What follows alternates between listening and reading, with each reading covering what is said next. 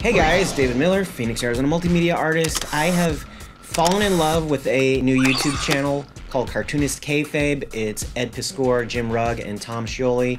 And a lot of times they do this little show and tell thing where they bring out uh, comics that are of a particular variety and show you what they own or what they got from the library that are good examples of those. Like bootleg comics was a recent topic. Uh, I felt like doing a little show and tell of my own, inspired by Cartoonist Kayfabe's channel. So I'm to show you some pieces that I was gifted over the years. I'm to start with a sculpture of myself and my wife Vesna. Uh, this is actually what went on top of our wedding cake. It was made by my friend Dan Richters. He is an artist who lives in Omaha, Nebraska, where I'm originally from.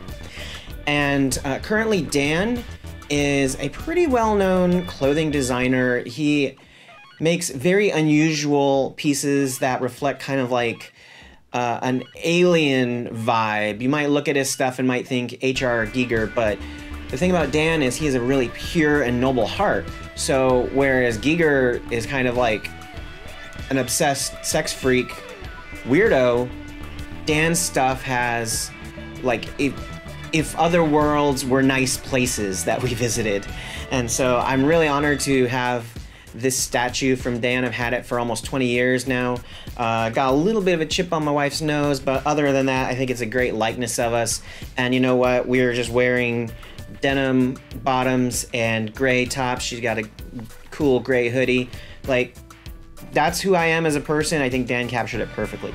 This piece is by someone I met as a model, but they're also an incredible uh, visual artist. Her name was Glass Olive, and this is a little bit of pencil work, a little bit of watercolor. On the back, it's got a little story. I'll go ahead and read it to you. It says, Claire had to sneeze, but didn't know the proper etiquette. So she sniveled, and she snorked, and she snorted, and really tried to avoid it. She tried so hard her face stuck, and her sneeze was lodged in her brain until the end. And it's from 2011, but uh, this has been in a prominent place in our craft room in our house ever since then. This is also from 2011. It's an illustration by my friend in Los Angeles, Jamie Graydon.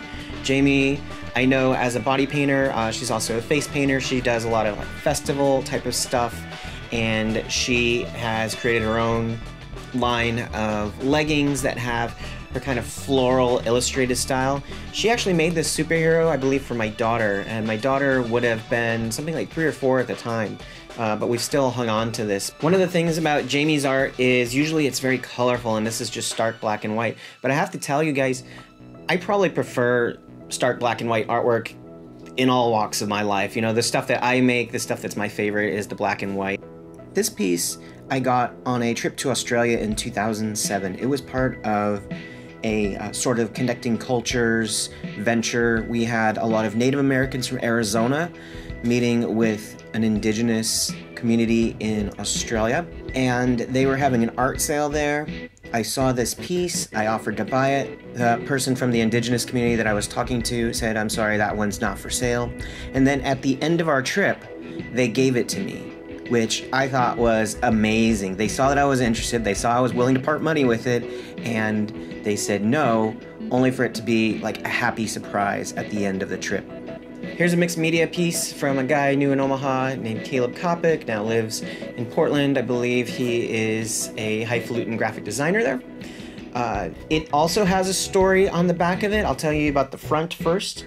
It comes from, I think, a time when Caleb was really influenced by an artist named Ashley Wood. It also reminds me of Jim Mahfood a little bit, uh, but it is just wild. It has like explosions of color on some sections, and other sections are just pure black and white, and you get to see that natural cardboard underneath it. I'm a big fan of leaving the substrate visible. I'm also a big fan when people are working with like cardboard or hard mat board as their substrate, as opposed to something like canvas or printmaking paper. I mean, this this is just kind of an industrial feel to it, and he has a lot of metallic inks. I'm not sure if it's showing up on the camera, but uh, big fan of this piece. Always had a place of prominence in our house.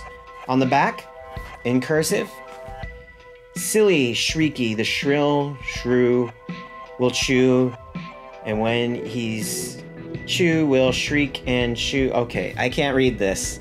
Um, but it's pretty interesting. We got a tiny little shrew written on the back. Moving on to a more recent piece.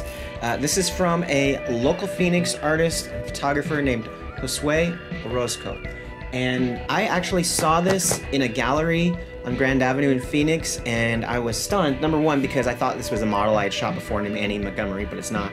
Uh, number two, I wasn't really aware of other local photographers who had such a like strong artistic aesthetic that also was dark and also uh, was kind of fashiony. And Josue works, I think, almost exclusively with agency fashion models, but he does this incredible work. And uh, was visiting him in his house, and he totally just gifted it to me straight there. One of the things I love about this is the headpiece on the model has this segment that's a whole bunch of safety pins and you know, I never asked Josue how this was made. If it was done in camera, if it was done in Photoshop. We got a little uh, tri-face going on here. It definitely feels like an in-camera double exposure. Of course, I really don't think it matters how it was made, but I'm so curious. And I'm also curious uh, what inspired this look with the safety pins because I've seen people do things with safety pins before, band-aids, you know, kind of like common household items, but this has like an intention to it. It kind of reminds me of Hellraiser a little bit, the Clive Barker uh, movie series. There's a character named Pinhead in it, um, but this isn't scary at all. It's really elegant, otherworldly. This is the kind of artwork I love to have up in my house. And then lastly, this is something that's a bit of a collaboration between me and Jon Arvizu. He goes by Trapdoor Studio. Uh, so it was my original photograph of a model named Mosh. And at the studio we were at, there was a one-eyed cat that Mosh was playing with. Uh, Jon's a printmaker. He took my original piece, did an edition, I believe, of 10, and then gifted me one of those. I'm such a huge fan of printmaking, and I'm no good at it myself. I took it in college and uh, didn't get anywhere every so often I think I should really get into printmaking. I should really get into printmaking. And, you know, to do something the level that Jon does, you have to have maybe like a decade of experience under your belt. So if there are any future collaborations I can do with other printmakers, I look forward to that so much because uh, it's one thing to see a photograph you took and then sort of know the process of, well, I did this in Lightroom, I did this in Photoshop, so on and so forth, I did this with the lighting. But when you see it reinterpreted in a really stunning graphic design style. Um, and for me, it's super, super heartwarming. And it becomes something that's a little more iconic than the photograph that I already know the history of. Once again, we've got silver metallic inks all over the place. We've got areas where this big swipe of color that doesn't really match anything that's on the photo, but uh, elevates it, I think, with a little bit of chaos something that's otherwise orderly. And of course, because it's printmaking, every one of his prints was a little bit different. I wish I had images of the other nine to share with you so we could like compare and contrast what the differences are in the printmaking process. But as it is, I love this piece and I'm so honored to have it in my house. If you're an artist out there and you have a bunch of stuff in your closet, I highly encourage you to just pull it out and think about who would benefit from having this, who would love to have this, who would appreciate it and allow it to live because the artwork that you have boxed up, the artwork you have in a closet, it's not alive. It doesn't have an audience. Uh, if you've had it boxed up or in a closet for a long period of time, you've had it there for years, it's pretty likely that it will never sell. I know as indie artists, uh, selling our stuff is so important to being able to pay bills, to be able to live. But there's always going to be a chunk of material that you can't sell that is just rotting away. Why not give it away? Why not have it in the hands of somebody who's going to appreciate it? That's how your art is going to live. Uh, whether you sold it for $15, $500, or $0, and you put it in the house of somebody who's going to appreciate it. Uh, that is the ultimate goal, I think. Thanks for watching. Check out my other videos. Talk to you next time.